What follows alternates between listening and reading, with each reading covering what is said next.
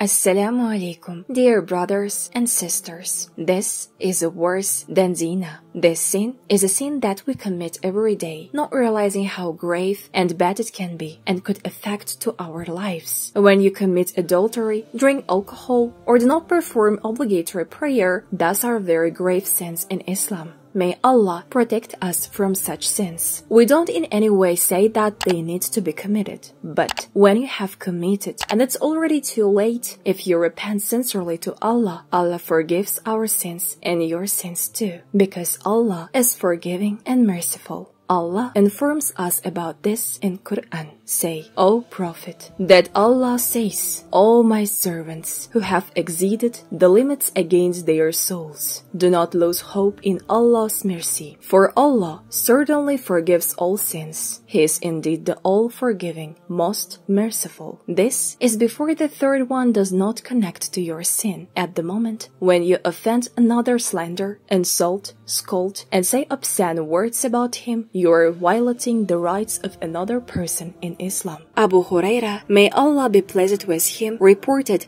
that the Prophet, may Allah's peace and blessing be upon him, said, He who has wronged his brother concerning his honor or anything else, let him ask for his pardon today before there comes a time when there will be neither a dinar nor a dirham. If he has good deeds, the amount equivalent to the wrong he has done will be taken from his good deeds and given to the one whom he has wronged. If he has no good deeds, then some of that person's bad deeds will be taken and loaded upon him. Sahih Bukhari. So, we'll get started. There are people who may never forgive you. Not everyone is forgiving, and it will remain as if it's duty for you until day of judgment. It's our own fault. Because sometimes we make life so difficult for others that we drive them to suicidal thoughts. And we think that this is how we will get rid of it. Do you think you're a good, fearing, or religious person? No, never. Wouldn't you able to support them together? Wouldn't you able to make a reminder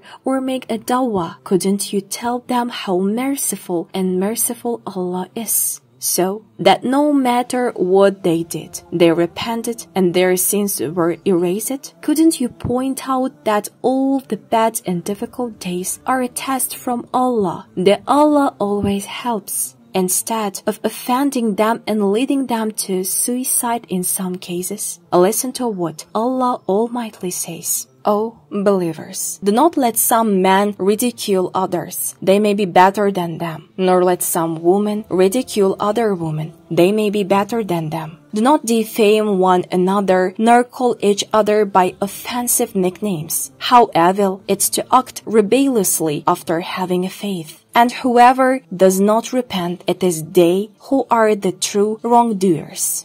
O believers, avoid many suspicions, for Indeed, some suspicions are sinful, and do not spy nor backbite one another. Would any of you like to eat the flesh of their dead brother? You would despite that and fear Allah. Surely Allah is the acceptor of repentance, most merciful. The Almighty God mentioned another duty of Muslims to each other and forbade mocking Muslims. This applies to all offensive words and sarcastic actions with which one Muslim can humiliate another. This is a great sin, and Islam strictly prohibits such treatment. This attitude towards people is usually caused by arrogance and complacency, but the one who was smoked by the smug-proud man may be better than him.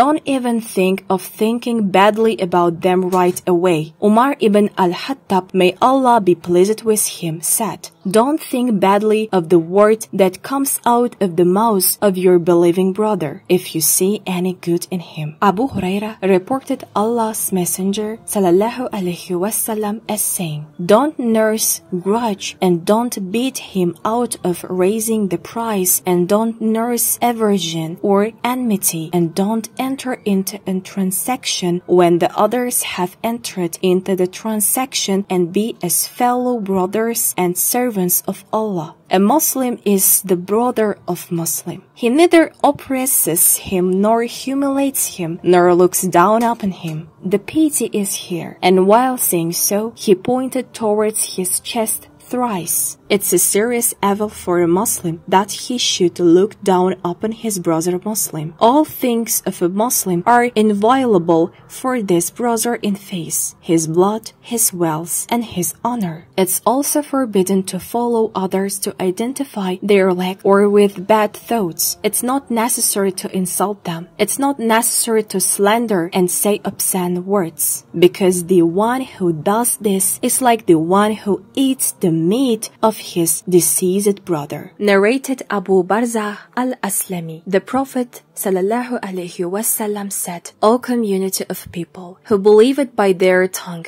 and believe did not enter their hearts, do not backbite Muslims and do not search for their faults. For if anyone searches for their faults, Allah will search for his fault. And if Allah searches for the fault of anyone, he disgraces him and his house. Narrated Anas ibn Malik. The Prophet sallallahu alaihi wasallam said, When I was taken up to heaven, I passed by people who had nails of copper and were scratching their faces and their breasts. I said, Who are these people? Jabrail, he replied. So, they are those who were given to backbiting and who expressed people's honor. These are those who offended each other, Allah says, Woe to every backbiter, slanderer. The backbiter insults with a word, and the offender insults with a deed. So he humiliates people and shows arrogance towards them. Imam Ahmad reported from the words of Jabir ibn Abdullah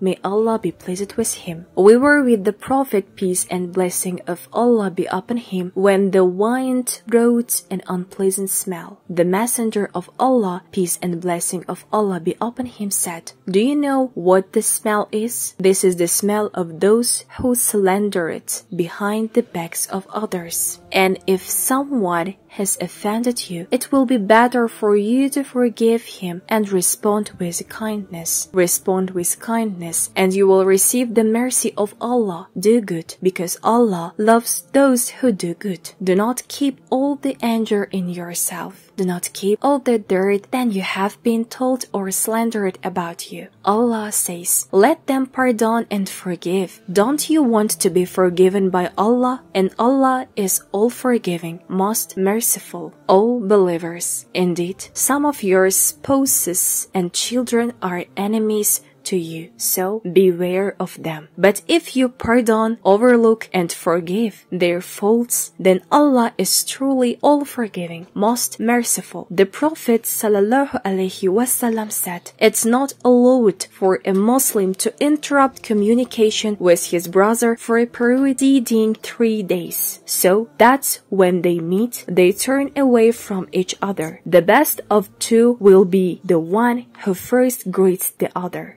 be sure to write in the comments if you want to learn more about the sins of the tongue and to understand each type in more detail.